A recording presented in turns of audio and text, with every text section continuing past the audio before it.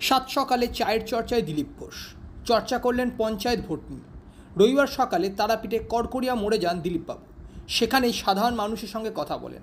পাশাপাশি পঞ্চায়েত ভোটে বিজেপিকে ভোট দেওয়ার জন্য অনুরোধ জানান তিনি।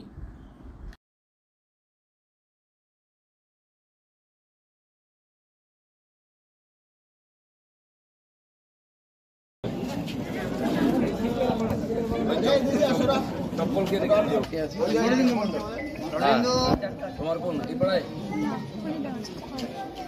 এই আমাদের দেবাশিস দা হচ্ছে ওই দেবাশিস দা সামনে চলে আসেন। পাড়ায় বিধানসভার কনভেনার প্রার্থী। গতবারও মেম্বার ছিল।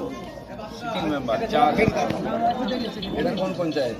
এটা হচ্ছে শাহপুর পঞ্চায়েত। কতগুলো সিট আমাদের সাতাশটা সাতাশ।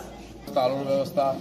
রাস্তাঘাট যেতে হয় যেটা সরকারি টাকা কেন্দ্র থেকে পাঠাচ্ছেন মোদিজি ঠিকঠাক খরচা হয়, তার জন্যই আমরা পঞ্চায়েতে এবার লড়ছি আর কি। সব সব কেন্দ্রে প্রার্থী আছে, সকাল সকাল গিয়ে খালি পদ্ম ফুলে ভোট দিই বাস আর পঞ্চায়েত ভোটকে সামনে রেখে জেলা সফরে এসেছেন দিলীপবাবু।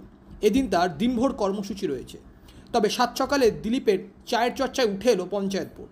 তারাপীঠের কড়কড়িয়া মোড়ে চায়ের চর্চায় অংশ নেন তিনি। সঙ্গে ছিলেন বিজেপির জেলা সভাপতি ধ্রুব সাহা। সেখানে তিনি এলাকার মানুষের সঙ্গে শাসক দলের দুর্নীতি নিয়ে কথা বলেন। পাশাপাশি আসন্ন পঞ্চায়েত নির্বাচনে বিজেপি প্রার্থীদের ভোট দেওয়ার জন্য অনুরোধ জানান। এদিন তিনি বলেন, কেন্দ্র থেকে টাকা দিচ্ছে, তাই রাস্তাঘাট যেন ভালোভাবে হয়। মোদিজির টাকা পাঠাচ্ছেন, তাই আমরা পঞ্চায়েত নির্বাচনে প্রতিদ্বন্দ্বিতা করছি। সকাল সকাল গিয়ে কেবল পদ্ম ফুলে ভোট দিন। যারা টাকা নিয়েছে তাদের পেটে পা দিয়ে টাকা বার করবে টাকা দেবে না গান ছাড়া হবে।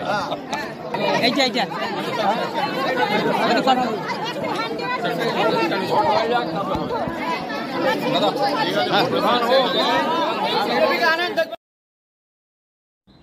বীরভূম থেকে শুভদীপ পালের রিপোর্ট লোকাল এইটিন বাংলা।